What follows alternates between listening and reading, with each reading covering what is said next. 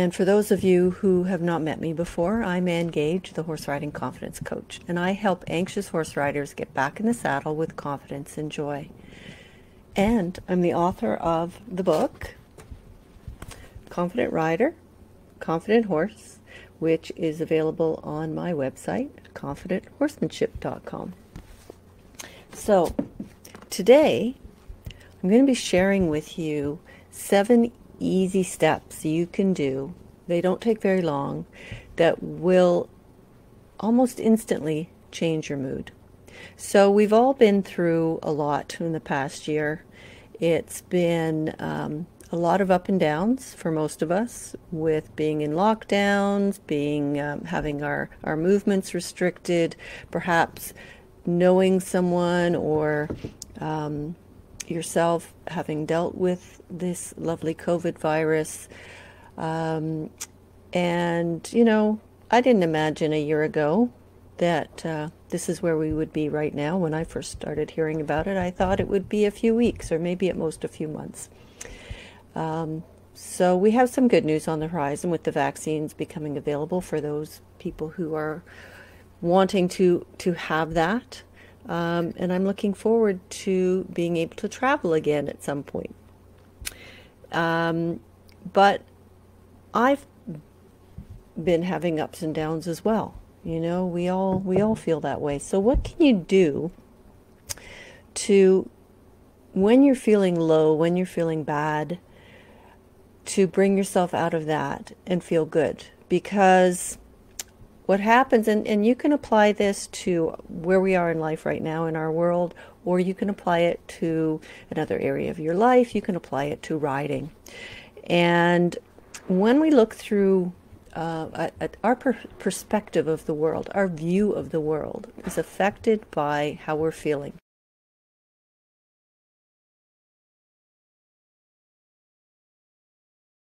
He's looking through rose colored glasses.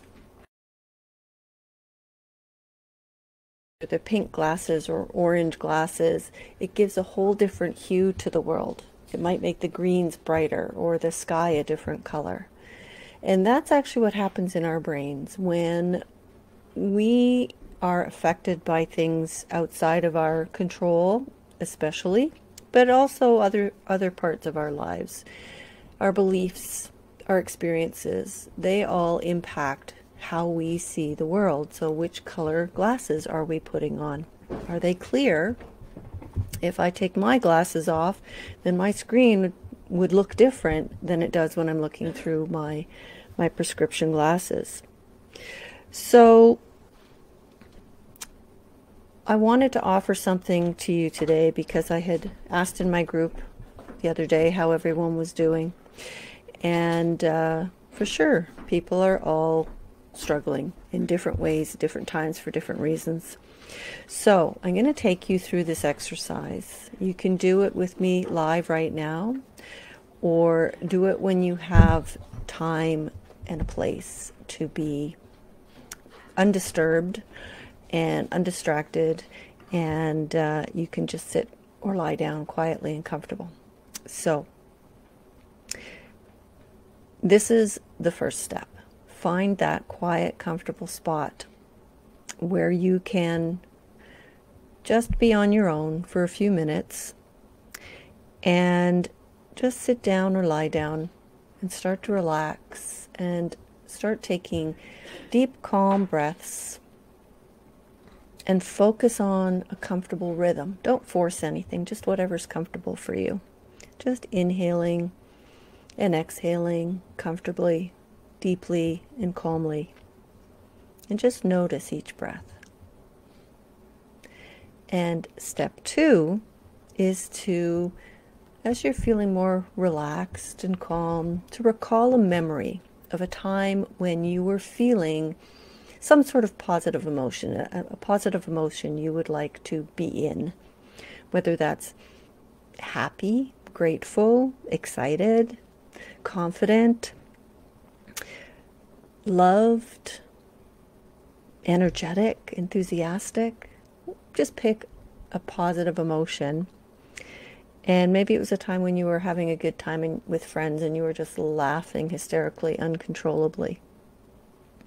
Make it a specific experience or event and one that is filled with that positive emotion, excitement, and joy. And whatever memory you, you recall, make sure that it is so powerful that you smile inwardly and outwardly. It actually brings a smile to your face when you think of that time. Step number three is to start focusing on that time now. Just create a detailed picture of it in your mind's eye, just as if you were watching yourself in that moment. And observe it as if you're off to the side, kind of watching a, a picture, looking at a picture of yourself, or maybe it's a little movie you're seeing. Or you can float up above and be looking down on the whole scene and on yourself. You want to be outside of it, observing it, right? You're observing yourself. And then you're going to bring in as much detail as you can. If there are other people in that event, or maybe there's your horse or some animals in it, include them in that picture you're getting in your mind. And don't worry if you can't get a really clear picture. A lot of people can't. Just get a sense, get that sensation of that time. And remember what your surroundings were. Just notice those surroundings in your in your mind's eye. Again, don't worry about it being perfect. It's just to get a sense of what it was like for you to be in that experience. Now, step four you've got that clear picture of that experience in your mind's eye and you're you're holding on to that but you're going to add more energy to it and make it even stronger. You're going to add more detail. You're going to notice if there's people in in that memory. You're going to notice their facial expressions and their body language uh, you're going to look at yourself in that event and notice the same things notice your facial expression are you smiling or laughing What's your body language? Are you sitting down? Are you standing up? How's your posture? What are you doing? Bring in as much of those details as you can and really soak up that whole experience. Step number five is you're continuing to focus on that picture as you're building it with your eyes closed. And we're going to add even more energy to it now. You can bring in color. You can bring in sounds. You can zoom in like you're looking through a camera lens and make it bigger. Make the people and the images bigger. Zoom in. And step number six is to hold the memory of this specific event clearly in your mind now. Really see what you saw, hear what you heard, and feel what you felt emotionally and physically. Give yourself over to that feeling and to all those feelings until you physically feel them in your body. And once you feel it in your body physically, that's when you've truly connected to that memory. And you're just going to sip, simply sit quietly and enjoy this feeling for a few moments. Really steep yourself in that emotion just absorb all that good energy that comes from that good memory that you're bringing into yourself now. And the final step, number seven, is to again just focus on your breath as you take in a few deep, calm breaths in a comfortable rhythm. And then when you're ready, open your eyes and notice how good you feel now. So Whenever you want to feel better emotionally, you can just take yourself back to this memory or pick another memory and recall it. Just use these seven simple steps again. And the more you do it, the faster you can bring yourself into that emotion, that positive state of mind. You can change your mood that quickly. By practicing it regularly, you get into the pattern of being able to close your eyes, Take a few deep breaths. Quickly bring that memory into your mind's eye and be feeling those feelings instantly. So, I hope you have found that exercise helpful. If you do it, when you do it, because I certainly hope you do do it, come back. Let me know how it worked out for you.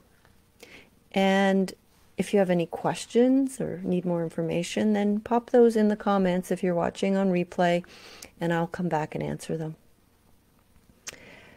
If you want help with your mindset, this is what I do. This is um, a mindset technique that I work through with my clients to help them stop feeling anxious about riding and build their confidence and get back in the saddle with joy. If that's something you're interested in finding out more, then send me a message um, and I'm happy to have a chat with you about what I offer. So, thank you very much for joining me, for taking the time to watch this video, and I will see you next week. Bye for now.